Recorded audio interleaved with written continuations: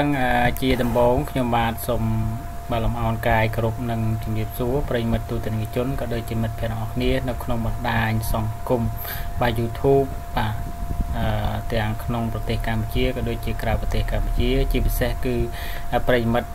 ទូទាំងជននិងមិត្តភ័ក្តិទាំងអស់គ្នាដែលតែងតែតាមដានសម្ដាប់ទេសនា បាទយកចិត្តទុកដាក់បាទវីដេអូនៅក្នុង Channel ខ្មែរ History បាទក្នុងនេតិបាទប្រវត្តិនៅបទចម្រៀងបាទពីដើមពីដើមដែលខ្ញុំបាទធ្វើការដកស្រង់បាទចេញពីបាទเพจជាផ្លូវការរបស់បងប្រុសសេនារាបាទក្នុងវីវីដេអូមុនគឺខ្ញុំនិយាយអំពីបាទខ្ញុំនឹងនិយាយអំពីប្រវត្តិបទអាចារ្យស្រាប់បាទអញ្ចឹងមកក្នុងតកតនក្នុង វីដេអូទី2ដែលនិយាយអំពីប្រវត្តិបទចម្រៀងនេះគឺខ្ញុំនឹងបាទអឺនឹងលើកយកនៅប្រវត្តិបទទុកថ្នោតបាទប្រវត្តិបទទុកថ្នោតដែលត្រូវបានបាទទៅសេឡើង បាទដោយបងប្រុសបាទអឺនិយាយរួមគឺស្រាវជ្រាវឡើងដោយបងប្រុសសេនារាបាទអញ្ចឹងគឺជាស្នាដៃរបស់គាត់ដែលគាត់បានខិតខំប្រឹងប្រែងធ្វើការស្រាវជ្រាវបាទដើម្បីចែករំលែកនៅ អ្វីដែលជាមរតកដើមបាទឲ្យកូនចៅខ្មែរចំនួនក្រោយនឹងបានដឹងបាទអូខេអញ្ចឹងចង់ដឹងថាតើបទទុកថ្នោតនេះបាទគឺត្រូវបានច្រៀងនៅក្នុងឆ្នាំណាហើយអ្នកណាជាអ្នកច្រៀងបទហ្នឹងឲ្យប្រកបបាទដូច្នេះសូមប្រិយមិត្តទូទាំងជននិងមិត្តភ័ក្តិរបស់គ្នារីករាយស្ដាប់និងទស្សនាជាមួយនឹងខ្ញុំបាទទាំងអស់គ្នាបាទអញ្ចឹងរំលឹកឡើងវិញអំពីបទទុកថ្នោតបាទជីចាប បាទឆ្នាំ1974មានអ្នកស្ដាប់មួយចំនួនធំបាទបូករួមទាំងគាត់ផងដែរមេថាបងប្រុសសេនារាហ្នឹងគាត់ថាគាត់បានសរសេរថាអញ្ចឹងគាត់ថាមានអ្នកស្ដាប់មួយចំនួនធំហ្នឹងរួមទាំងគាត់ផងដែរហ្នឹងគឺអឺបាទបទទុកថ្នោតនេះគឺជាលោកជ័យចាបបាទជ័យចាបកាលឆ្នាំ2007ពេលខ្ញុំចេញផ្សាយសិភៅមាសស្រោបនគរ ភាគ1ខ្ញុំក៏សរសេរទៅតាមការលឺតាមគេថានឹងដែរ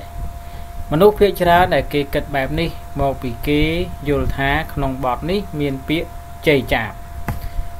ទើបកាត់ក្តីដោយមិនបានដឹងរឿងអីបាទអីចឹងទៅបាទសូម្បីខ្ញុំបាទក៏គិតបែបនេះដែរពីដំបូងលុះឆ្លងកាត់បាទការស្រាវជ្រាវស្នាដៃកវីរៀមច្បងតន្ត្រីកអ្នកចម្រៀងនានា រាប់ឆ្នាំតាំងពីឆ្នាំ2003មកខ្ញុំបានយល់រឿងរ៉ាវជាច្រើន ដែលមិនអាចសរសេរអស់បាទដល់ឡែកចំពោះបទទុកថ្នោតម្ចាស់ស្នាដៃនិពន្ធទំនុកគ្រៀងមិនមែនជាលោកជ័យចាទេ តែគឺជាស្នាដៃរបស់កវីបាទសេកមាសបាទម៉ាឡាពីឯនោះឯនោះទេបាទ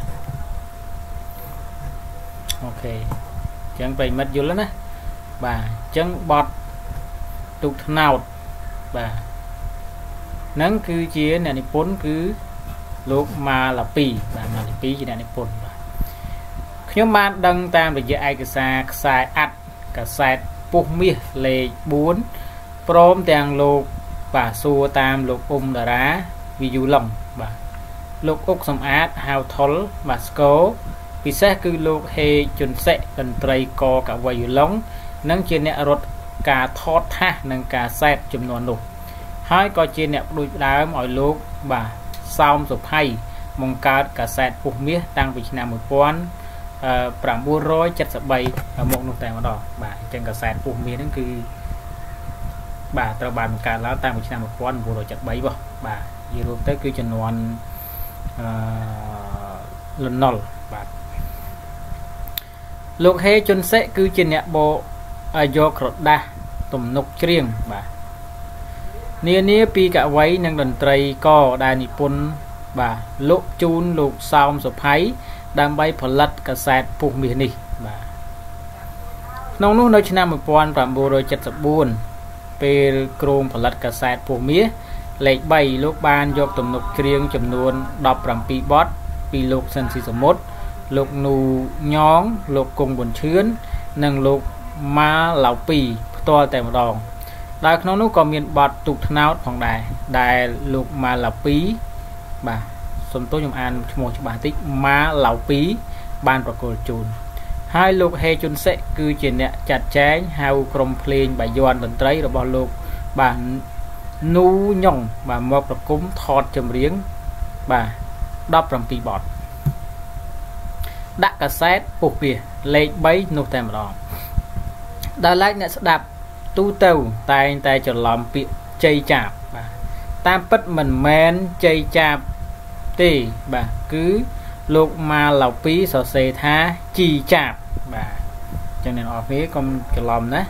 អញ្ចឹងចំណងជើងនាងវាហ្នឹងគឺមិនមែនជ័យចាបទេគឺជីចាបបាទបាទតែពិតចំណងជើងរបស់លោកម៉ាឡៅម៉ាឡៅម៉ាឡៅពីដែលគាត់ជាអ្នកនិពន្ធហ្នឹងគឺគាត់ដាក់ថាជីចាបបាទមិនមែនជ័យចាបទេបាទ ហើយលោកសិនស៊ីសមុទ្រក៏ច្រៀងច្បាស់ច្បាស់ថាជីចាបបាទដែរតែដោយយើងតែងតែច្រឡំថាលោកជ័យចាបនិពន្ធទៅក៏យល់ថាពាក្យនោះជាជ័យចាបទៅបាទអញ្ចឹងកុំច្រឡំណាបាទតាមពិតមិនមែនលោកជីចាបនិពន្ធទេគឺបាទម៉ាឡៅពីបាទឯកោះជ័យតតបាទអញ្ចឹងបត់ឲ្យកោះបាទឯកោះជ័យតតណាបាទ ហ្នឹងហើយហ្នឹងក៏បត់ហ្នឹងក៏យើងធ្លាប់ច្រៀងសិតបត់ព្រោះព្រោះដូចជាសារវ៉ាន់ផងបត់ហ្នឹងហើយបាទស្ថិតនៅកំពង់ឆ្នាំងដែលស្រុកកំណើតលោកម៉ាឡៅពីតែម្ដងបាទអញ្ចឹងកោះជ័យតតហ្នឹងគឺជាកោះមួយដែលនៅខេត្តកំពង់ឆ្នាំងបាទអញ្ចឹងគឺគាត់និយាយអំពីកោះហ្នឹងតែម្ដងបាទគឺកោះជ័យតតហ្នឹងបាទអញ្ចឹងអ្នកនរគ្នាចង់ដឹងបាទចូល YouTube ទៅវាយថាអោកោះជ័យតតទៅចំណងជើងហ្នឹងគឺចេញហើយណាបាទ អញ្ចឹងគឺត្រូវបាននិពន្ធដោយលោកម៉ាឡៅពីដែរបាទអូខេ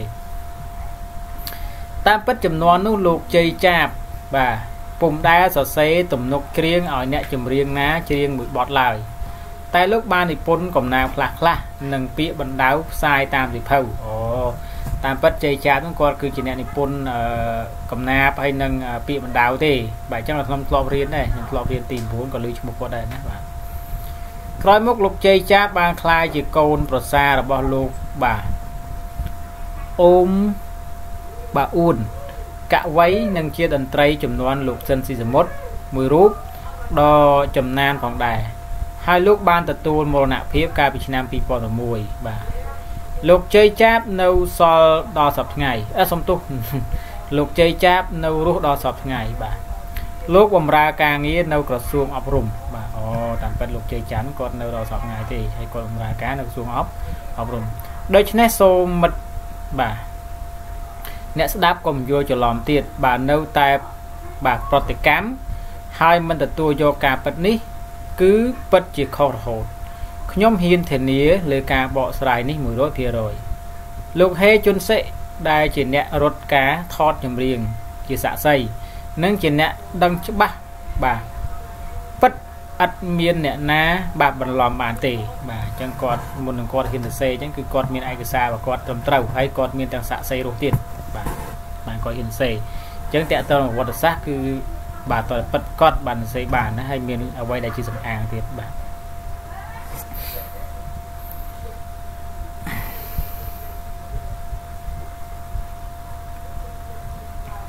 ម្យ៉ាងទៀតនៅក្បាលកាសែតចម្រៀងនេះគេថែមទាំងអត្ថាធិប្បាយផ្សាយពាណិជ្ជកម្មអំពីឆ្នាំថតវងភ្លេង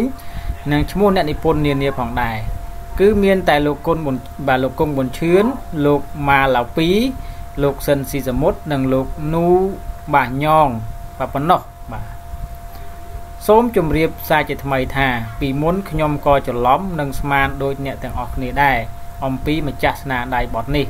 តែការពិតគឺលោកម៉ាឡាពីទេបាទអញ្ចឹងអ្នកទាំងអស់គ្នាកុំយល់ច្រឡំថាបទបាទអឺទុកថ្នោតហ្នឹងបាទបាទទុកថ្នោតគឺឆ្នាំ1974ហ្នឹងគឺ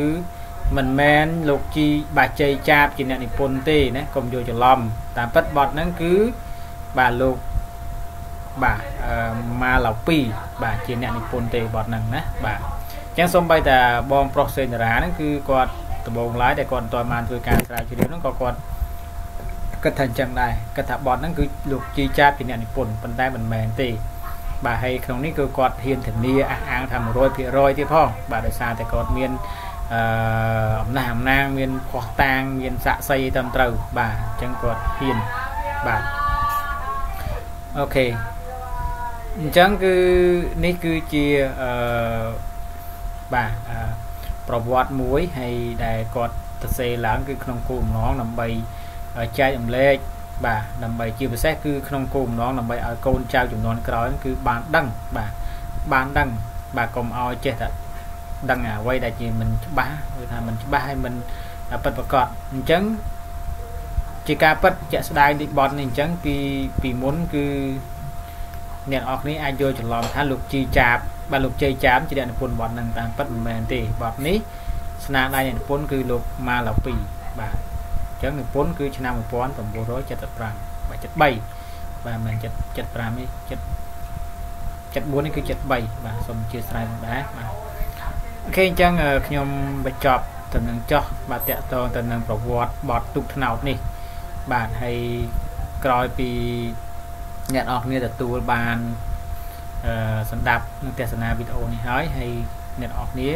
បាទកុំយល់ច្រឡំទៀតបាទឈប់យល់ច្រឡំដូចគាត់ទៀតណាបាទដូចបងប្រុសសេនាទៀតបាទអញ្ចឹងត្រូវ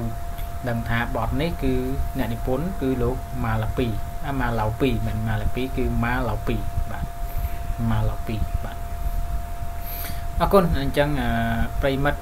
បើសិនជាខុសឆ្គងឡើយណាហ្នឹងសូមអធិស្ឋានខ្ញុំបាទផង បាទហើយខ្ញុំសូមបញ្ជាក់ម្ដងទៀតតកតទៅនឹងខ្លឹមសារនៃអត្ថបទដែលខ្ញុំបាទបានលើកឡើងហើយធ្វើជាវីដេអូចែកម្លែកអស់គ្នានេះគឺខ្ញុំបាទបាទដកស្រង់ចេញពីបាទអឺបាទគេហទំព័រ Facebook page របស់បងប្រុសសេនារាបាទសូមបញ្ជាក់ណាទៀតប្រិយមិត្តណាបាទមិនមែនជាតែខ្ញុំទៅសេខ្ញុំនិយាយទៅតែឯងឯងទេបាទអញ្ចឹងគឺត្រូវឲ្យច្បាស់លាស់បាទហើយបងប្រុស សេនារានេះក៏គាត់មានអំណាចអំណាងគាត់ច្បាស់លាស់ដែរបាទគាត់ហ៊ានទៅសេបាទអញ្ចឹងរឿងប្រវត្តិសាស្ត្រវាជាអឺរឿងមួយដែលមិនអាចកលាយបានទេបាទអូខេប៉ុន្តែខ្ញុំជឿជាក់ថារកការពិតអ្វីដែលជាការពិតហ្នឹងគឺអាចរកបានប៉ុន្តែអ្វីដែលលាក់កំបាំងគឺខ្ញុំជឿជាក់ថាវានៅតែលាក់កំបាំងដែរបាទអញ្ចឹងតកតទៅនឹងរឿងបាទថ្នាក់ដឹកនាំផ្សេងផ្សេងនេះគឺมันអាច វែកញែកបាននេះពីព្រោះតកតងទៅនឹងមានបញ្ហាបាទអូខេអញ្ចឹងប៉ុណ្ណឹងចុះអរគុណប្រិយមិត្តណាបាទហើយខ្ញុំនឹងលើកយកវីដេអូក្រោយក្រោយទៀតមកចែកលេងអស់គ្នាបាទដូចជាយូរទៅហើយគឺ12នាទីហើយប៉ុន្តែខ្ញុំជឿចិត្តអ្នកនរគ្នានឹងទទួលបាននៅចំណេះដឹងល្អៗនេះបាទផងដែរបាទគណៈពេលនេះខ្ញុំបាទសូមគោរពលាសូមអរគុណ